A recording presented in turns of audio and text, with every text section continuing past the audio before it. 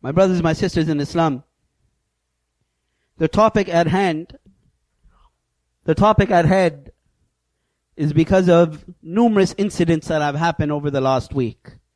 And numerous calls and numerous emails that have been sent regarding these affairs.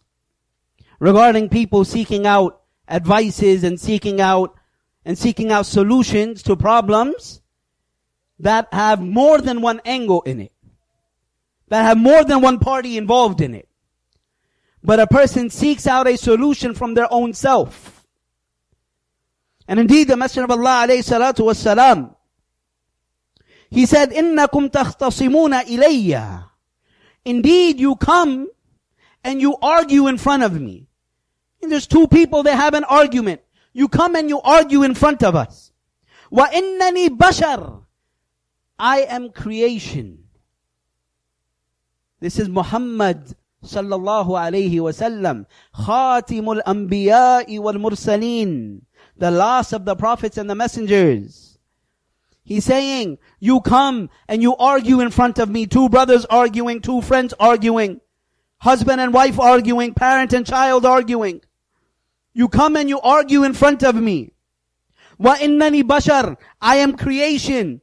وَرُبَّمَا يَكُونُ بَعْضُكُمْ أَلْحَنَ فِي حُجَّتِهِ مِنْ بَعْضٍ It may be that one of you is better than the other at speaking of their rights.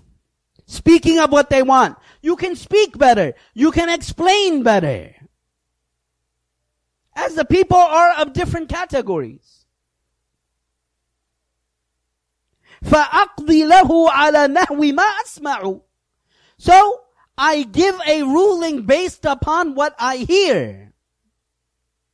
Based upon what I hear.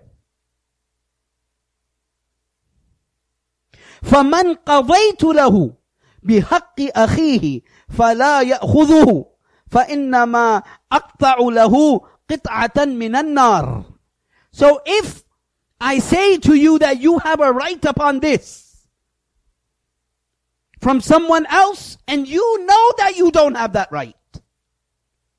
You know that that's not right. Don't take it. Because if you take that, it is like taking a portion of the fire.